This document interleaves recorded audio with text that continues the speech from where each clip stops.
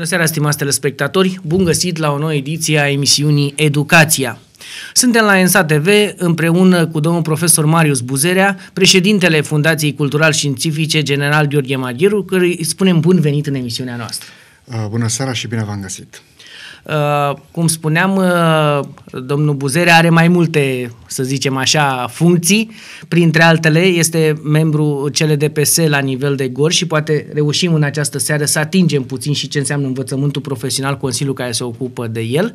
Dar uh, emisiunea noastră așa în prag de an școlar, încearcă să abordeze foarte mult examenele naționale unde intervin schimbări în acest an școlar și în același timp atingem și subiectul proiecte cu finanțare europeană, acolo unde domnul Buzerea este expert, având în vedere multiple proiecte pe care le derulează, le-a derulat și probabil le va derula în continuare. Deci, pornind de la toate aceste lucruri, să vorbim de la început despre examenele naționale care, iată, vin cu schimbări și în același timp ele sunt foarte importante pentru că pe lângă faptul că fac legătura dintre cicluri, mă refer la ciclul gimnazial de liceu sau bacalaureatul cu facultatea, inclusiv evaluările școlilor se fac, se fac după acestea. Deci o școală poate trăi, poate crește dacă are rezultate foarte bune sau din potrivă se întâmplă alte lucruri cu ea, cel puțin teoretic, dacă rezultatele sunt mai puțin bune. Da, aveți dreptate în ceea ce spuneți. Uh, trebuie spus din capul locului că vorbim despre examenele naționale care vor avea loc uh, uh pentru anul școlar următor uh, și care, conform metodologiei, uh, procedura lor de desfășurare a fost deja publicată. Uh, în ceea ce privește valoarea națională, lucrurile cred eu că au rămas cam în același uh, context, prin prisma faptului că uh, proba de limba română va rămâne undeva în 18 iunie, uh, proba de matematică cred că în data de 20. Iunie 2019. 2019, da, iar uh, iar afișarea se va duce undeva către data de 25, urmând ca până pe 12 uh, iulie să fie deja, să aibă loc deja afișarea computerizată a admiterii acestora în liceu.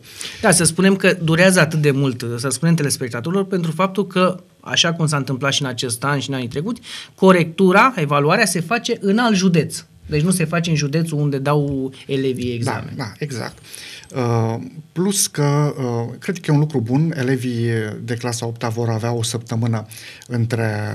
Care la, n-au avut-o în acest care an n-au avut-o, da. da. Uh, vor avea o săptămână suplimentară să se pregătească pentru examen. Ei vor lua vacanță cu o săptămână mai devreme, urmând ca, așa cum am spus, pe data de 18 să înceapă această evaluare națională.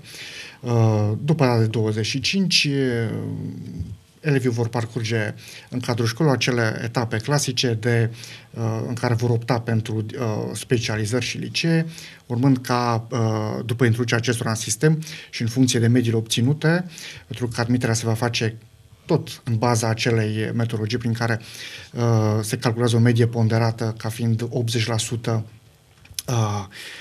în care va consta 80% proba, examenul de la media de la examenul de la evaluarea națională și 20% media uh, celor patru ani de studiu gimnazial.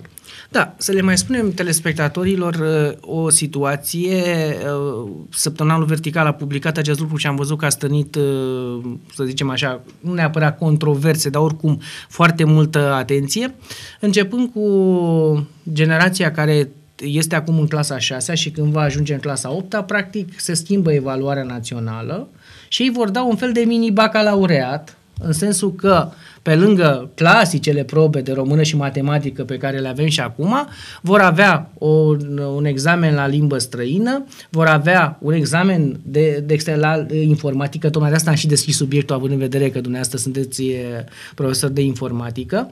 Și, și în același timp acesta va, examenul de informatică și cel de cultură civică oral, competențe civice, vor, se vor da în timpul anului școlar aceste, aceste probe toate terminându-se cu finalizarea de la sfârșitul anului școlar. Deci peste încă 2 ani vom avea noua structură de, de examen. Cum o vedeți dumneavoastră, având în vedere că, iată, uh, informatica, după ce nu era în planul cadru, încet, încet a fost introdusă. Uh, e al doilea an când ea este, este deja introdusă la clasa a șasea de începând de anul acesta școlar și încet, încet va ajunge și la celelalte clase de gimnaziu.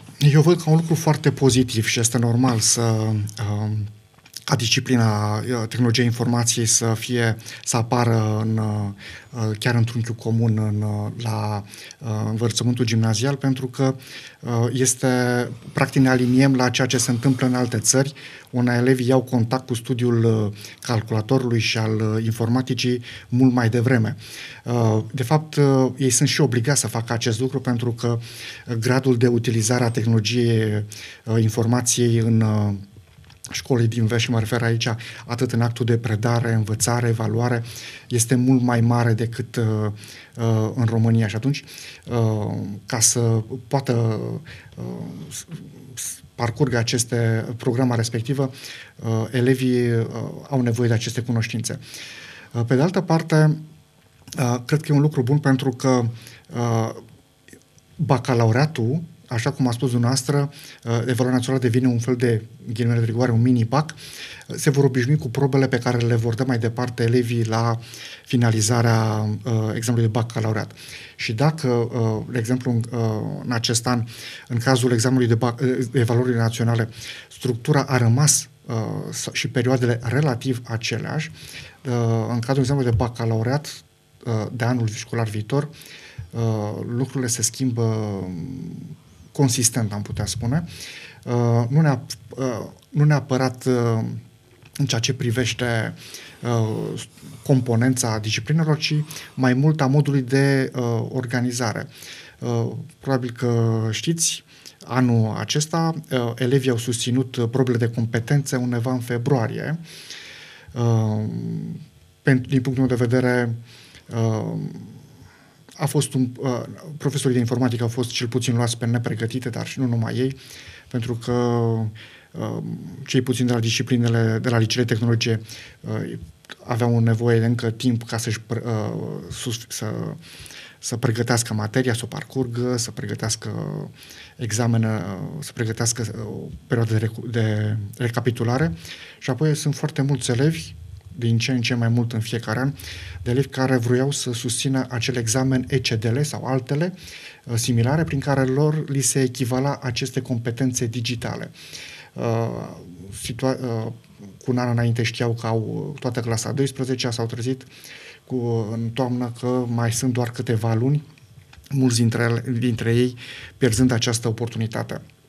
Bine, deci s-a renunțat la acel experiment cu, cu acele să zicem, evaluări în timpul anului școlar, uh, poate întemeiat și din punct de vedere strict juridic, să ne gândim că noi aveam, deci dădeau toți aceste probe, deși unii nu terminau clasa 12, adică și nu poate, finalizau. Și poate, poate erau corigenți. Da, poate erau corigenți. Deci de aici, aici cred că s-a intrat cumva în normalitate, ca să nu mai spunem că totuși pe timpul, uh, în momentul când s-au dat uh, s-au supraîncărcat școlile și cu evaluarea strânsă foarte mult și cu bacalaureatul strâns foarte mult, a făcut ca să fie foarte greu de organizat la nivelul școlilor, mai ales că n-am precizat mai devreme, uh, începând din acest an școlar uh, care s-a terminat la 1 septembrie, uh, la evaluarea națională s-a susținut la Gorj pe centre, în 18 centre. Nu s-a mai făcut varianta cealaltă cu 87, atâtea câte școli cu personalitate juridică,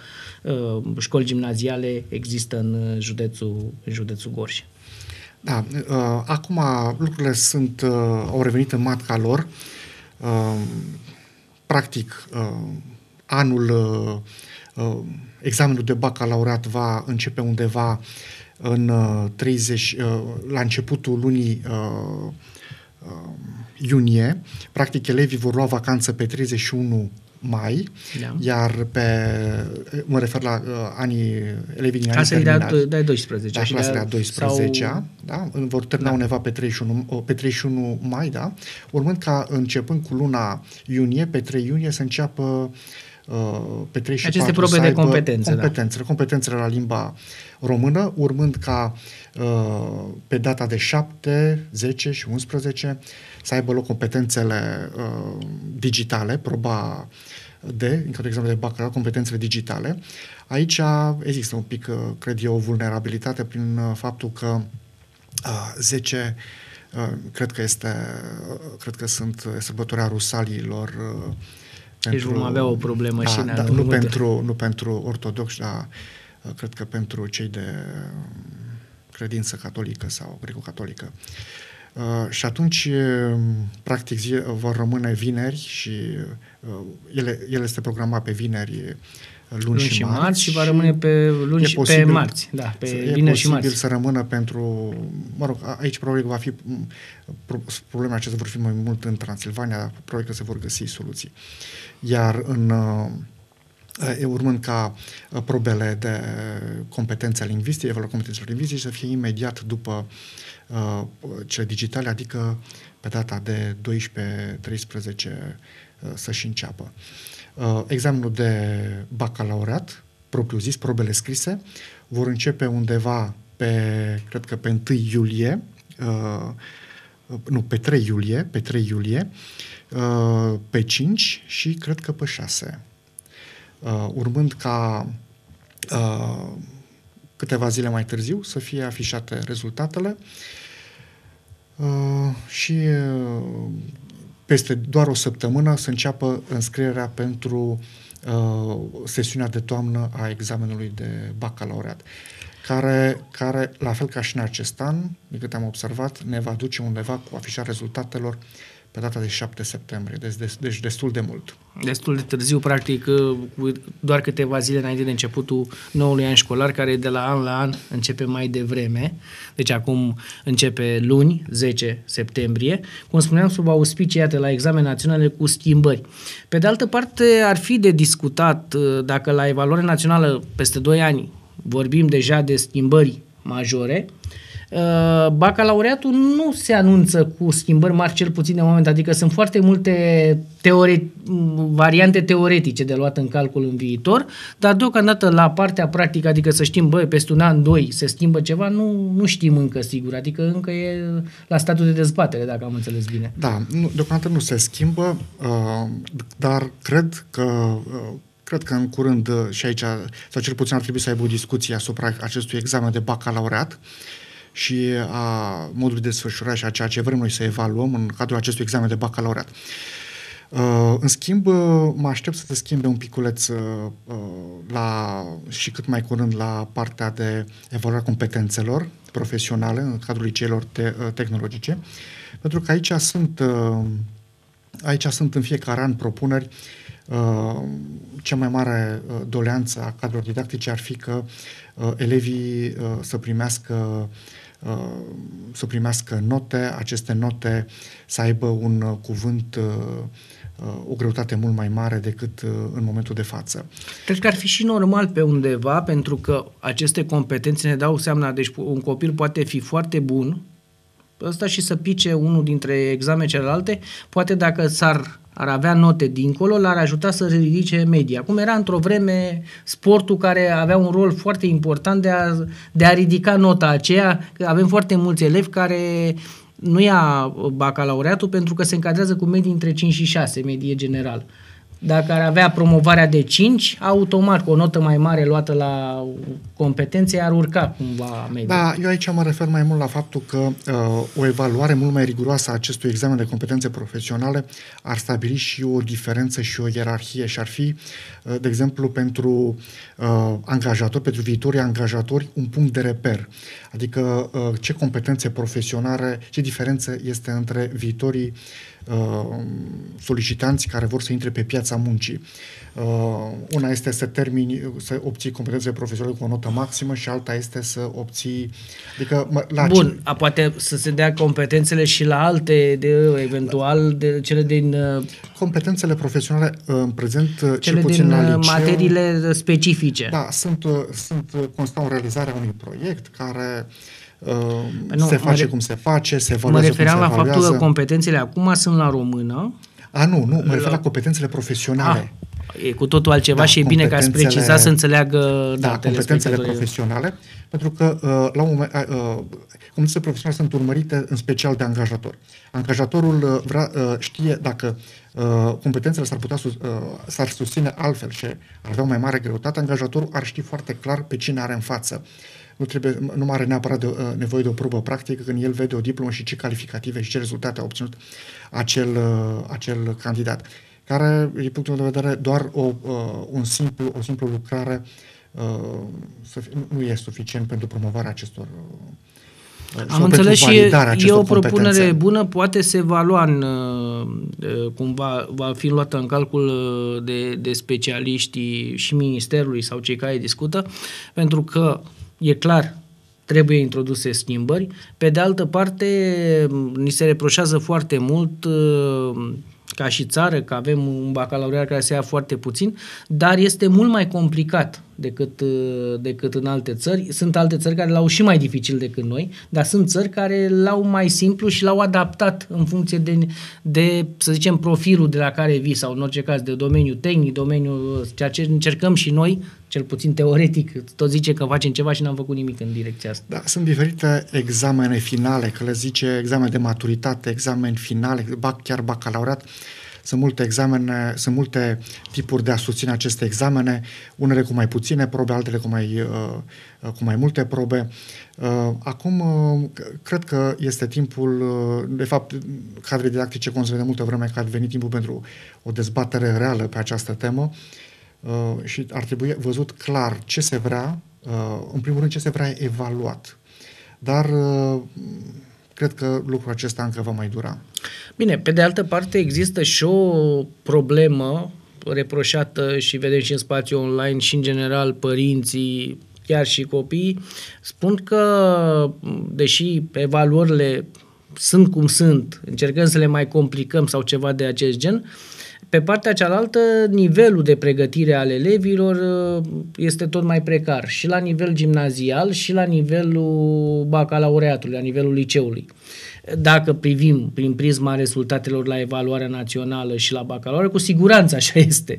Uh, este un, să zicem așa, o stare reală sau doar uh, nu știm ce să evaluăm cu asta. Deci copiii noștri ar avea competențe, dar nu știm să le găsim. Bun, acum, dacă ținem cont, așa cum a spus, de valoarea națională, de examenul de bacalaureat, de uh, acele testări PISA care uh, la clasele a doua, a patra și a șasea, da? Da, care ne uh, plasează undeva la coada uh, grupului a. de, mă refer la testările acelea PISA. A avem, da, ă, avem testările de a doua, a patra, a șasea după model PISA și avem testele PISA care se dau în fiecare țară din Uniunea da. Europeană, unde și noi avem niște, da, avem niște rezultate foarte slabe. Da. Da, și dacă ținem cont că ă, de recomandările celor care ă, evaluează aceste teste în care ne spun că elevii noștri, un număr mare de elevi sunt nu înțeleg ceea ce citesc, că, sau uh, ei citesc, dar nu înțeleg, da? Sunt un fel de analfabet funcțional sunt numiți da. și se spune că la undeva la 42% din, genera- din fiecare generație ar ajunge la situația aceasta neplăcută, ceea ce e extrem de îngrijorător. Da, este extrem de îngrijorător. Uh, este clar că ceva nu este în regulă. Ori ceea ce predăm, ori Um, modul în care predăm uh, uh, sau inclusiv ceea ce evaluăm și cum evaluăm, se pare că ceva nu este în regulă. Uh, și cred că sistemul nostru educațional are nevoie de o reformă completă și destul de masivă. Aici v-aș aduce da. ca argument școala care se face în străinătate și se confruntă cu o grămadă de probleme uh, parcă nu se confruntă uh, cu atâtea probleme cu care ne, uh, ne confruntăm noi. Uh, și eu au probleme, încearcă să le remedieze prin politici clare, știu ce, une vor să ajungă, știu ce rezultate așteaptă. La noi încă se mai bâșbuie, se mai... Păi avem o problemă. Dacă, uh, apropo de nevoia de reformă, spuneau, dacă vă aude domnul ministru actual, dar nu contează neapărat numele lui, avem fiecare ministru cu reforma lui, fiecare începe câte ceva, nu termină nimic, mandatele la Ministerul Educației sunt din ce în ce mai scurte, media este undeva la șase luni, deci e clar că n-ai timp să implementezi ceva, ci totul conduci pompieristic, așa, ca să, ca să țină. Iată, acum avem o, o situație iar nu neapărat greu de anticipat. Generația care este, vorbeam puțin mai devreme de ei că vor avea acel mini-bac, generația de clasa 6 are în continuare o problemă, nu are manuale. Deci ei n-au avut manuale niciun an din an, deci la începutul anului școlar. Și acum când păreau că toate lucrurile se îndreaptă pe direcția bună în sensul că s-au tipărit, uh, s-au tipărit cu probleme pe lângă, deci a fost deja scoasă s-a trimis la retipărire geografia, acum sunt mari probleme cu manualul de biologie și cel de istorie și cine știe ce, ce mai afla, pentru că unele sunt încă netipărite, nu înseamnă că sunt și corecte. Deci, deja problemele problemele se adună, iar faptul că nu avem coerență este și din aceasta, repet încă o dată, nu poți să fii un ministru al educației uh, bun sau să ai ceva coerent de făcut din momentul ce tu ai un mandat undeva cum spuneam, 6, 7, 8 luni, este foarte, foarte puțin. Da, aici eu aș avea o... o sunt de acord ce spuneți dumneavoastră, dar aș mai, aș mai veni cu o completare. Ceea ce n-am înțeles noi este că uh, o reforma în educație nu este a unui ministru, ca să o facă el la fiecare șase luni, și măcar a unui guvern. Reforma în educație este a unei țări, este a populației, este a copiilor acestora. Iar până noi nu vom trece dincolo și vom înțelege că uh, ei uh, suntem aici doar ca să gestionăm uh, acest proces, nu ca să venim cu inovații la fiecare șase luni, vom avea uh, mari probleme. Dar să știți că lucrurile astea s-au întâmplat și dincolo și uh, ei au găsit soluții. Nu trebuie să inventăm nici roata, nici apa caldă, pur și simplu, ar, dacă, este, dacă implementăm astfel de soluții care sunt deja uh, validate, uh, cred că ne, ne putem aștepta rezultate foarte bune.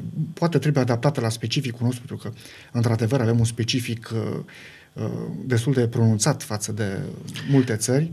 Uh, Bine, noi avem problema clasică și se poate vedea asta la nivelul Parlamentului, în care toată lumea are senzația că se pricepe la învățământ și ne dau care din care mai ciudate, câte o ordonanță, câte o lege în care au legile respective au ca bătaie învățământul și mai mult încurcă decât, decât rezolvă, să zicem așa, anumite probleme.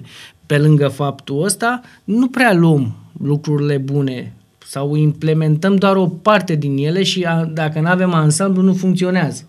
Că s-au încercat și aceste idei, dovadă, apropo de învățământul superior, procesul Bolonia și toate celelalte, care, chiar dacă au fost implementate, criticii și chiar profesori universitari de calibru spun că la noi au avut o implementare deficitară. Faptul, Bolonia n-a adus plusul acela la care se așteptau, ba din contră a creat numai probleme, iar alte schimbări pe care le-am gen, uh, iată, nu luăm bacalaureatul de tip, s-a încercat varianta de tip francez sau ceva de acest gen, nu luăm nici pe cel anglosaxon, avem toate variantele noastre struțocămile, toate ba din anglo, de la anglosaxon, ba de la francez, ba de unde, unde copiem, dar numai parțial. Da, sunt de acord cu dumneavoastră. Avem multe... Încercăm să facem... Uh, încercăm, încercăm să, exact cum spune, să implementăm anumite soluții punctual, să intervenim. Dar acestea sunt pur și simplu oaze într-un mare, oaze într-un mare deșert. Iar asta ne va crea, iar asta câteodată chiar îngreunează activitatea sau chiar face mai mult rău decât uh, bine. Acum, uh, eu rămân la părerea mea că suntem în măsură, uh, suntem Uniunea Europeană, uh, există atâtea modele pe care le putem copia, le putem implementa uh, foarte ușor, putem Bine, s-au soluții. adaptat, dar adaptat în totalitate, nu de ochii lumii, că trebuie să facem nu știu ce, tră, tragem o ordonanță, aplicăm, facem o comisie la nivelul da, școlii și, și cu asta am îngropat totul. Ordonanțele și comisiile nu sunt bune. Deci când vrei să îngropi, să faci ceva, să îngreunești ceva, Uh, ordonanță și comisie. Bine, acum uh, cei care se uită la noi și mai ales din învățământ, cu siguranță și-au adus aminte de N, N comisii care le avem la nivelul unei școli și care, deși ni s-a promis că se reduc și s-au mai și redus cel puțin pe hârtie, practic uh, uh, din comisia mare se subdivid altele și hârtiile sunt la fel de multe sau poate mai multe decât erau înainte. Și uh, e și periculos să refaci aceste reduceri pentru că uh, dacă, să zic, inspectorul școală își cere niște comisii, imediat o să vină agenția de la Aracipu și îți va cere cu tot cu totul alte comisii și probabil alte instituții care verifică uh, la rândul lor uh, instituțiile de învățământ, cer la rândul lor alte comisii. Așa că câteodată e chiar periculos să faci această reducere de comisii. Și ca să nu mai vorbim de o, apropo de școlile din România, cu această triplă subordonare, aceea față de minister inspectorate, față de ARACIP, care e organ de evaluare, și chiar față de administrația locală, care, chiar dacă nu mai are salariile care le plăteau cadre didac- cadrelor didactice, are în continuare partea de cheltuieli materiale la administrațiile locale și aici pot interveni probleme. Ca să nu mai vorbim de subfinanțarea cronică are, a fost și rămâne în învățământ de cel puțin în ultimii 30 de ani. Acum, uh, Aracipul, uh, nu ne subordonăm lui, dar ne evaluează. Uh, sunt... Nu putem să spunem celor de la Aracip nu veniți. Nu, nu putem. Nu putem. Eu cred că fiecare instituție are rolul ei, inclusiv primăria, comunitatea locală, agenții economici pentru liceele de specialitate. În schimb, cred că relaționarea între aceste uh, instituții, fluxurile de informații care se transferă între ele, sunt uh, deficitare.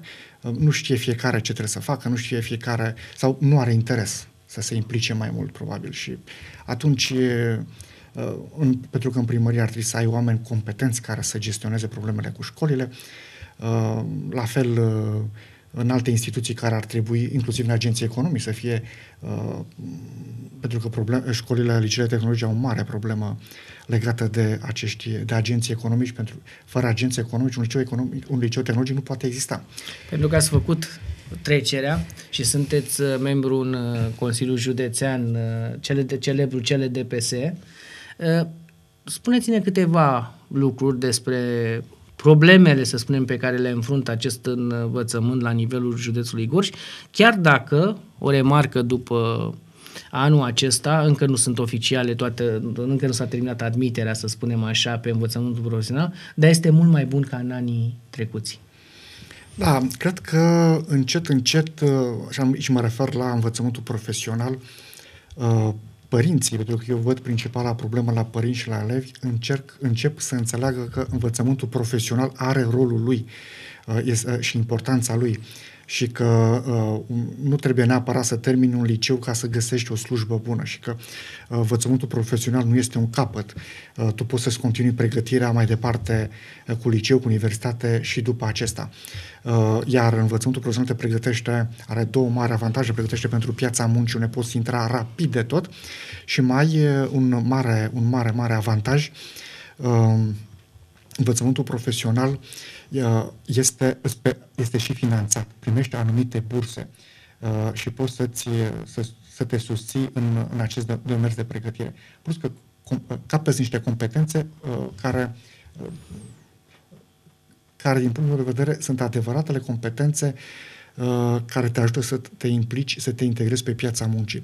Uh, în planurile de învățământ care le avem noi la liceele tehnologice, tot apar acele, uh, apar undeva ca și competențe cheie, cel puțin în planurile vechi, pentru că și aici are un proces de schimbare, competențele cheie, tranziția de la școala locul de muncă sau ceva legat de de, obișnuin, de obișnuirea la locul de muncă. Ei bine, uh, aceste competențe sunt foarte puține discipline pe care tu le faci uh, în curriculum de specialitate, în cel puțin în învățământul liceal, tehnologic, care îți asigură ție dobândirea acestor competențe cheie. Iar învățământul profesional este mult mai uh, aplicat pentru dobândirea acestor competențe cheie și mai departe pentru integrarea pe locul, la locul de muncă. Uh, vă întrebam acest lucru și în ideea că derulăm foarte multe proiecte cu finanțare europeană, dar dedicate învățământului profesional tehnologic. Ați venit în, uh, în contact cu alte sisteme din alte țări ale Uniunii Europene. Cum sunt lucrurile așezate acolo în acest domeniu? Ce ne diferențiază pe noi de aici? Am trebuit să facem noi să ne, să ne racordăm cumva la ce, se, ce înseamnă în Uniunea Europeană acest lucru. Da, uh, în primul rând, uh, n-ar fi să facem foarte multe. Dar uh, cred că nu poate fi un efort doar al, a școlii.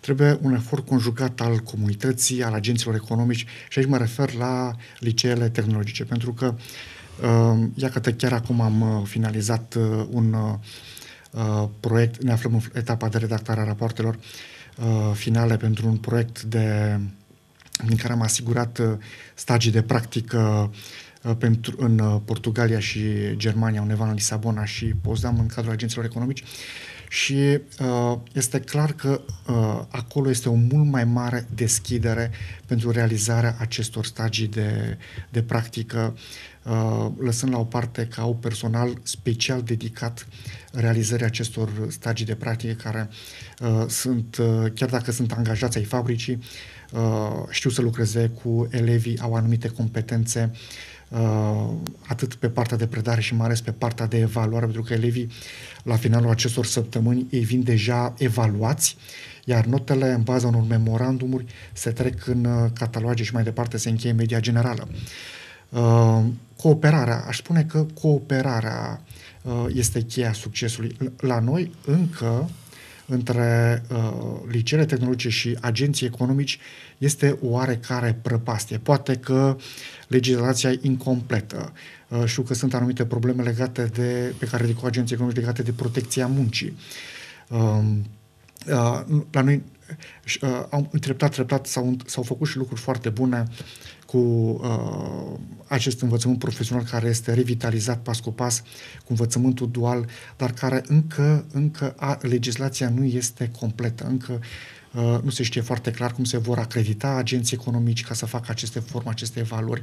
Este, încă suntem la început. Lucrurile astea sunt foarte clare în uh, vest. Păi exact ce vorbeam puțin mai devreme, am luat o parte, n-am luat-o și n-am luat totul și automat da, încă nu știm uh, să funcționează. Aplicăm, da, încă da. nu știm să aplicăm, dar uh, cred că cel puțin în acest domeniu uh, sunt un pic mai uh, uh, încurajat de faptul că lucrurile se mișcă încet, dar se mișcă în direcția bună. Uh, acum uh, pot să vă spun că anul trecut am avut uh, marea bucurie să avem un, uh, uh un proiect prin care am asigurat noi stagii de, uh, uh de job shadowing pentru, ele, pentru profesori din Slovenia care au venit să învețe la noi în uh, școală. De exemplu, uh, una din direcții de dezvoltare a uh, unui învăț- a învățământului uh, a liceilor, dar și învăț- liceilor, de învăț- de liceilor tehnologice în general trebuie să fie următoarea. Profesorii trebuie să aibă acces la cât mai multe formări, pentru că totul se schimbă uh, foarte repede în domeniul tehnic. În permanență apar noi tehnologii, uh, Uh, totul se mișcă în foarte mare viteză și atunci uh, ai nevoie de uh, să te miști destul de repede. Și, pentru, și tot timpul am încercat să asigurăm profesorii noștri astfel de uh, stagii de pregătire. Și am avut surpriza ca un astfel de liceu din Slovenia, o școală uh, similară liceului nostru, dar Slovenia e recunoscută pentru învățământul de calitate și bază materială de excepție, să vrea să vină să facă asistență la ore, la orele, la Uh, discipline de informatică și de resurse naturale.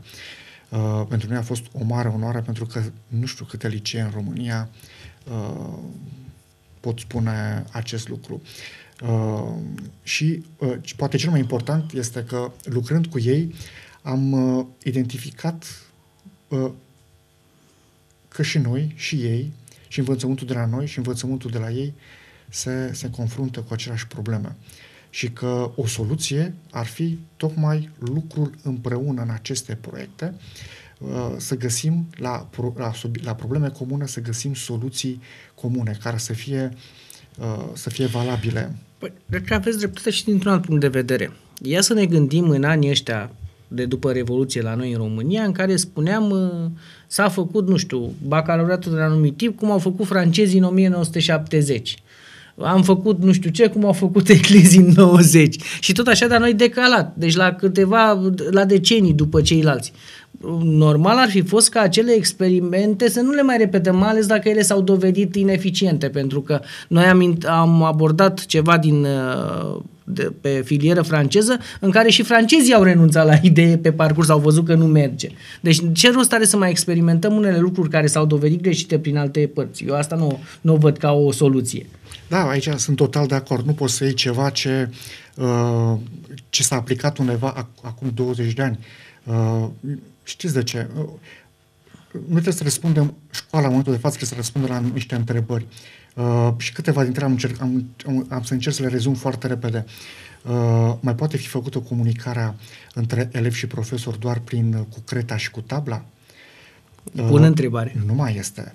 Mai poate fi făcută evaluarea elevilor uh, bazată pe memorarea informațiilor furnizate de către profesor, de către, uh, memorarea informațiilor de către elevi, a, uh, a informațiilor date de către profesori. Și, păi nu mai e cazul, avem internetul cu, cu resursele sale. Da, adică reproducerea, adică eu evaluez dacă elevul poate să reproducă informațiile, nu mai e cazul. Nu mai e cazul, da. Totul este la un click distanță. Da. Uh, în aceste condiții, uh, trebuie stabilit clar care este rolul profesorului. Uh, mai este el doar un uh, uh, deține, mai este el deținătorul secretului absolut uh, când totul este pe internet, totul sunt publice. Acum 30 de ani, uh, profesorul uh, era deținătorul acestei informații. Erau foarte puține biblioteci. Acum e plin de biblioteci, de biblioteci online. Elevii au acces la alte informații, iar câteodată s-ar putea să-i plictisim.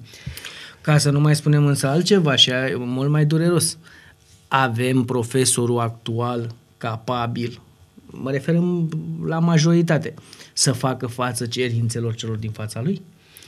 E, aici este, sunt alte, alte probleme, pentru că uh, exact ce spuneți dumneavoastră, noi pregătim, și noi am fost elevi, și acum 30 de ani, 20 de ani, Uh, ne-am pregătit pentru meserii, dar niciodată n-am știut că, știi, mie peste 20 de ani o să-mi trebuiască să am competențe digitale sau competențe sau altfel de competențe. Noi acum mai pregătim pentru, pe elevii aceștia pentru niște competențe, uh, trebuie să le formăm niște competențe pentru meserii care nu știm uh, cât vor rezista pe piața muncii sau dacă vor mai fi în momentul când... Vor fi pe piața muncii, dar pentru meserii care vor apărea pe viitor pe care noi nu știm nimic despre ele acum. Și atunci deja este o problemă. Uh, în toată că m-ați, uh, acum fiind profesor de informatică, de exemplu, Uniunea Europeană insistă foarte mult pe integrarea tehnologiei în uh, uh, predarea disciplinelor. Uh, exact ce a spus, uh, toți spunem că folosim tehnologia. Uh, sunt acele fișe de Uh, pentru concursul de gradație de merit și toți spunem că folosim tehnologia. În evaluarea noastră anuală a profesorilor, în rapoartele noastre, care le depunem în august, toți folosim și la maxim. Uh, rămâne întrebarea, cât folosim? Ce folosim? Că până la urmă, exact ce spuneți, uh, facem față exigențelor celor care stau în fața noastră? Da, din momentul când nu poți să, uh, de exemplu, un copil are acces mult mai ușor, iar eu nu știu să folosesc calculatorul ca și cadru didactic, am, cred că am o mare problemă care se va accentua în următorii ani. N-am cum să fiu interesant la catedră când predau de la fizică, chimie și până, nu știu, discipline de genul istorie, geografie, dar atât timp cât copilul are acces la asta, iar eu nu mă pot documenta decât eventual din cărțile și mai vechi apărute sau din bibliotecile acelea care la nivelul școlilor, spuneați, de, cele digitale sunt la zi, celelalte în funcție de fonduri au fost dotate și poate n-au da. mai primit cărți de ani de zile. Exact ce spuneți. Și atunci uh, se impune, se impune uh, găsirea unor metode, găsirea unor uh, uh, mijloace prin care să asiguri formarea continuă a cadrelor didactice. Iar acest lucru nu este ușor, pentru că uh, nu știi exact în, uh, încotro te îndrepți. Uh, Apropo că uh, totdeauna am vrut să întreb și chestia aceasta, apropo de cei care vă pricepe și faceți foarte multe proiecte cu finanțare europeană, așa zis și experți de la nivelul Gorjului, unul dintre ei sunteți dumneavoastră cu siguranță, uh, cât aduc plus în activitatea dumneavoastră în pregătirea elevilor aceste proiecte cu finanțare europeană. Pentru că există, am văzut, e o dezbatere în sensul cei care nu le accesează și sunt chiar colegii mari spun, nu domnule, nu avem nevoie, noi facem carte, nu știu ce și nu știu cum, ceilalți fac altceva, de parcă s-ar face altceva la, cele care, ă, la școlile care fac, folosesc mult aceste proiecte europene. Avem, Bun. să zicem, și experiența Bun, acum uh, eu am să vin și am să Uh, și am să mă refer la liceul nostru și la, la proiectele. Eu nu cred că, eu cred că implicarea într-un astfel de proiect nu poate să aducă decât beneficii unei școli, chiar dacă este un proiect mai amplu sau mai puțin amplu. Într-adevăr, putem discuta de probleme, programe, proiecte mai ample și unele care sunt uh, uh, spre mai puțin ample, dar prin prisma faptului că implică mai puțin personal, subiectul nu este unul foarte complex, dar și acestea aduc plus valoarea unei instituții. Doar prin prisma faptului că elevi dintr-o școală se întâlnesc și lucrează cu alți elevi, că profesor colaborează cu alți profesori, deja beneficiile sunt imense. Dar uh, referitor la ce am reușit noi să îmbunătățim prin aceste proiecte europene, păi, în primul rând, uh, uh, proiectul care tocmai l-am terminat, uh, prin care se, care se numește uh, competențe profesionale uh, calea, creșterea competențelor profesionale, calea pentru integrarea pe piața muncii, pe care tocmai l-am sfârșit, vă spun că ne-a asigurat stagii de practică pentru 46 de elevi în instituții uh, foarte mari din Uniunea Europeană. Elevi care sunt evaluați, care sunt certificați, care nu totdeauna termină aceste stagii cu media 10. Deși în uh, România cam toți deci, elevii care fac practica obțin media 10, acolo nu întotdeauna, pentru că sunt foarte uh, dificile examenele. Uh, alt proiect care l-am avut cu acest liceu sloven ne-a, pus la, ne-a, ne-a permis să realizăm uh, în acest an și deja a fost finanțat un alt proiect prin care, in, uh, prin care încercăm să introducem tehnologia în, uh, um, în metodele și în abordările de la clasă, în abordările didactice. Uh, să proiectăm CDL-uri uh, uh, opționale, altfel spus, uh, care să fie dezvoltate cu specialiști din străinătate. Uh, iată în, uh, în cadrul unei astfel aceste proiecte, de fapt acum derulăm alt, uh, alte două proiecte prin care, chiar începând în acest an, prin care te, uh, ne încercăm să determinăm odată gradul de utilizare a tehnologiei în, uh, să, folos- să identificăm, să folosim aceste instrumente de apreciere a gradului de folosire a tehnologiei în actul de predare a unei școli, să realizăm ghiduri de bune practice uh, în care să prezentăm aplicații care se pot uh, folosi în uh, actul de predare.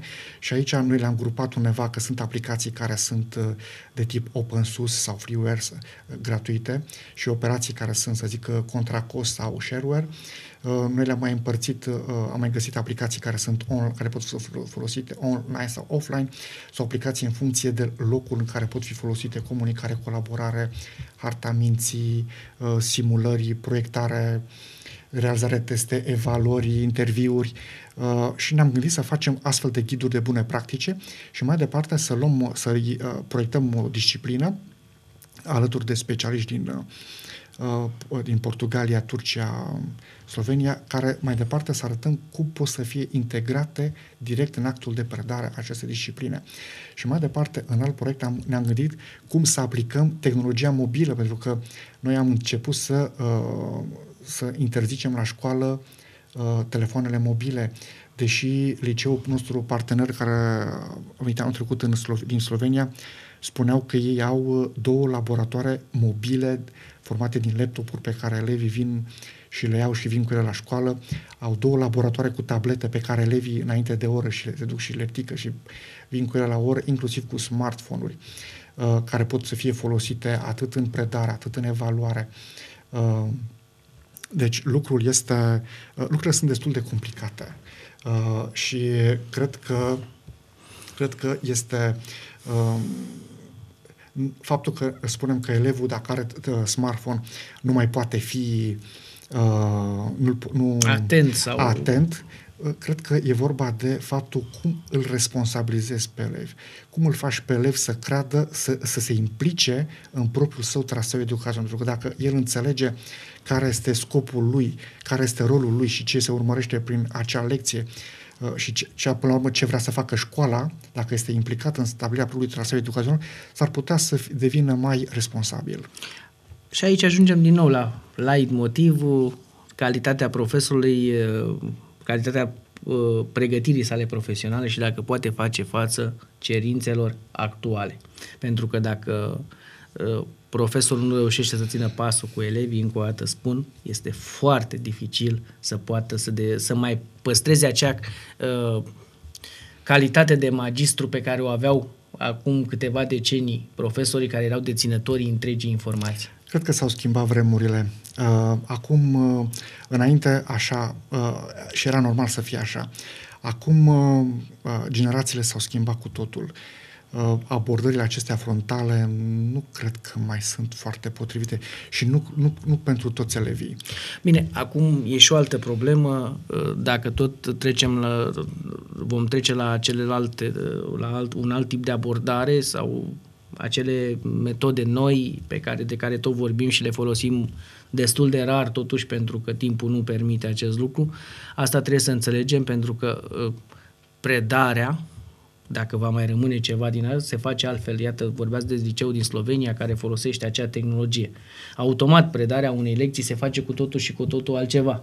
Dar pentru asta e nevoie de dotări și, din păcate, învățământul da. românesc încă nu, da, încă, încă nu reușește să facă față acestor, acestor cerințe. Da, iată pentru ce, iată, ăsta este motivul pentru care noi încercăm la Magheru să accesăm un număr așa de mare de proiecte.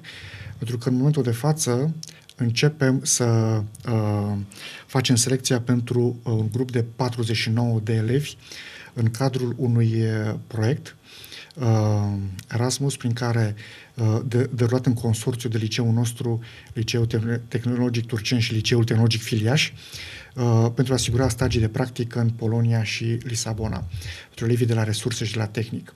Avem uh, grupe de elevi care vor participa la lecții de resurse susținute de câte o săptămână în Slovenia, în Turcia și în uh, Portugalia. Și mai avem uh, grupe de elevi care vor participa uh, la lecții care vor susține de matematică. Acesta, aceste lecții de matematică, de fapt, sunt niște CDL-uri și, prin care elevii își îmbunătățesc competențele la matematică, la limba engleză, la informatică, pe durata a câte 5 Uh, zile, 3, 6 ore pe săptămână, deci în jur de 30 de ore. Uh, iar acesta, aceste întâlniri, aceste ore și aceste ședințe de pregătire vor avea loc în Turcia, inclusiv în România, în uh, Slovenia, în Macedonia, Lituania, da, foarte interesantă prezentarea dumneavoastră legată de proiecte. E un rol important al acestora. Pe de altă parte, iată că avem, putem să spunem că avem și noutăți în învățământ uh, pentru anul acesta școlar. Suntem pe final de emisiune și uh, să zicem așa, dacă ajungem să tragem și niște concluzii, cum vedeți anul școlar, pentru minut, cum vedeți anul școlar 2018-2019 în privința provocărilor care vin? Bun, întotdeauna o să fie provocări. Eu cred că trebuie să fim optimiști și să le așteptăm. Uh, nu știu ce ar fi viața dacă n-ar fi aceste provocări. Cu siguranță. Uh, dragi telespectatori, a fost cu noi domnul Marius Buzerea, președintele Fundației Cultural-Științifice Gheorghe Magheru. Mulțumim pentru atenție, la revedere!